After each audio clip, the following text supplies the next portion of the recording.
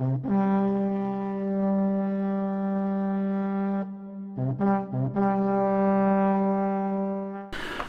what you're looking at here is the very first time I'm trying to use the camp oven. Uh, this could be a huge disaster, I guess. So I've never used one of these things before. I have at least managed to get the charcoal burning reasonably well. There's plenty of heat under it. I don't want too much heat. Uh, what I will do in a minute is shovel some of those coals on top, I guess. At, uh, give you a look at the roast. I'm giving a pork roast a go. It's a little bit bigger than I wished it was. Um, a smaller one would have done a better job. I'm going to have very major problems trying to get the vegetables done at the same time.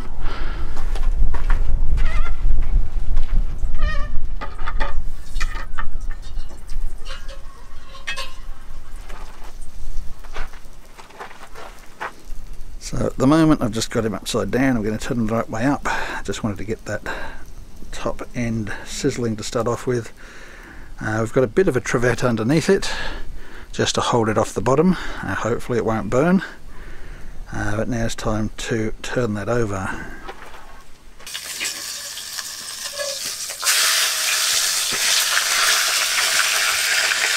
Now that uh, seems a bit on the hot side so I'm going to raise it up a bit and get some coals on the top. And there's quite a bit of heat coming from underneath that, uh, hopefully enough to keep it cooking but not enough to burn it and uh, the coals on top providing the heat to get down into the top of the camp oven. Uh, it's going to be a rather interesting experiment I guess. Hopefully I won't totally bugger up the pork. And then because the camp oven is pretty small, got no choice but to use the Weber to do the roasted veggies, so uh, that should come out okay. I've used that plenty of times, so not too worried about that.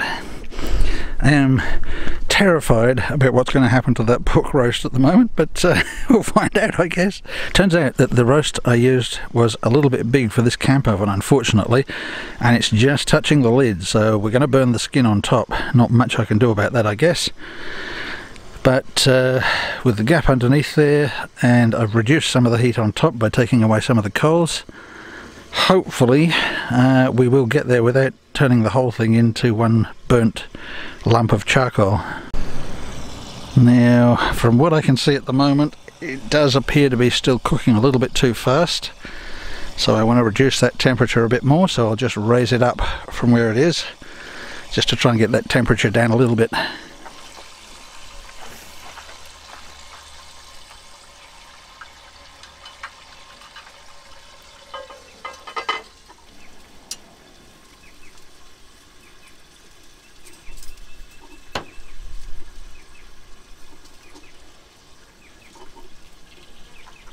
So that just brings the oven up a little bit more away from that heat and uh, hopefully that'll slow the cooking process down a little bit now.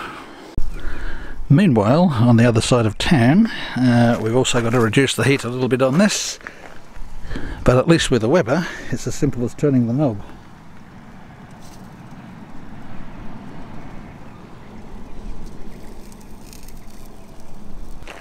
Still quite a long way to go with both the pork and the veggies so we'll sit down and have another tinny or two. I've had the potatoes and carrots and onions on for about half an hour so now we'll chuck in the capsicum and the pumpkin because that cooks quite a lot quicker.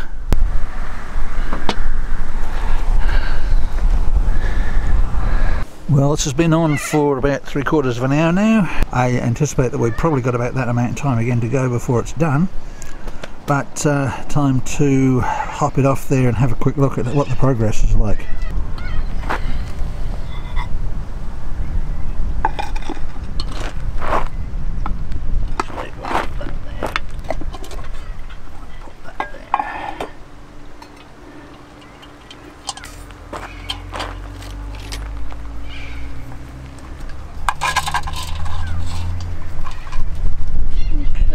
Unfortunately the strings here have come apart a bit. It's a rolled roast, but I guess that'll help it cook. Still got some way to go.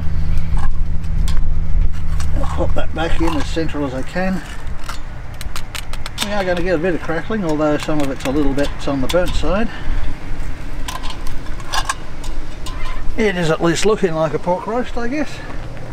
You can see as this turns to powder on here, that means the heat has been dropping on here and there's only a couple of bits there that are hot. We'll get a little bit more from the bottom, stick it on top.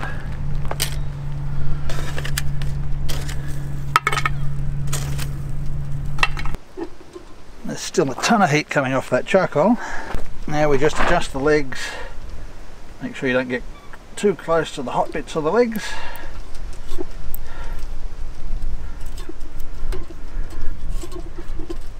And all you do is drop that down a few inches just to get it closer to the heat. Make sure that your legs are well set and she's not going to move around once you've let go of it. And there you go.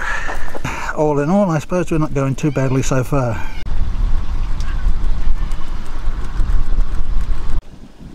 There are certainly worse ways to spend the afternoon than uh, sitting next to an old oval in a tiny town that time has almost forgotten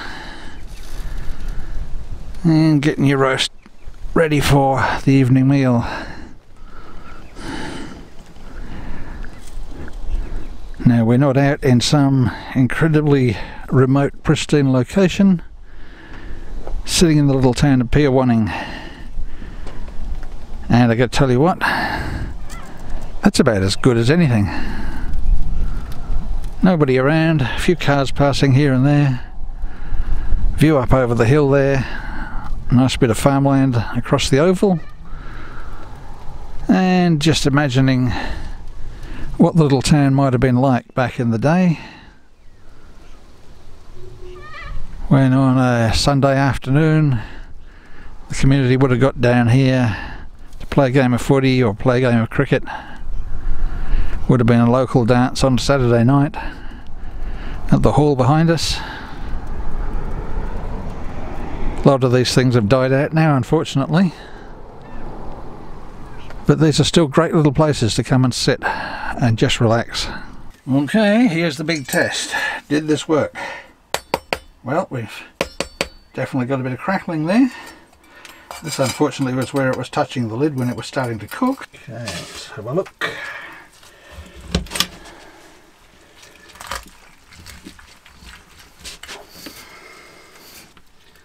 This piece here is definitely cooked. And yep, we have some crackling. So I guess for a first attempt at pork roast, that's not too bad.